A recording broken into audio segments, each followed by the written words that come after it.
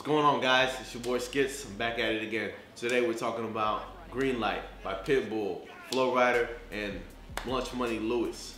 Lunch Money Lewis, he's got it going on. His voice is the money maker. But the video was a really, really actually good video.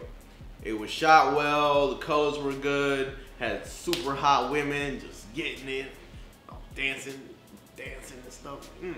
Woo! Hot, hot women. Hot women in there dancing, really dope cars, pretty expensive cars, racing down the streets of Miami, you know, living the life. The song is definitely a party starter. So you hear that song come on in the club, you getting up, you drinking, you gonna be, you gonna get it. You gonna be looking for the finest woman in the room. You know, you gonna try to talk to her, give you that green light. You know, you be like, uh, what's up, girl? Let's dance, let's talk, let's roll up my Ferrari. I ain't got no Ferrari, but anyway yeah, so I give the song four stars out of five because it was shot well. It's an exciting song. You actually can watch the video. You know, it just like makes you want to live that awesome, beautiful life. Living in Miami, chilling on the beach, conversing with hot ladies, you know. And Flo Rida, you know, he doesn't let you down with any party songs. He's pretty spot on once it comes to party songs. And Pitbull has he's got his industry on lock.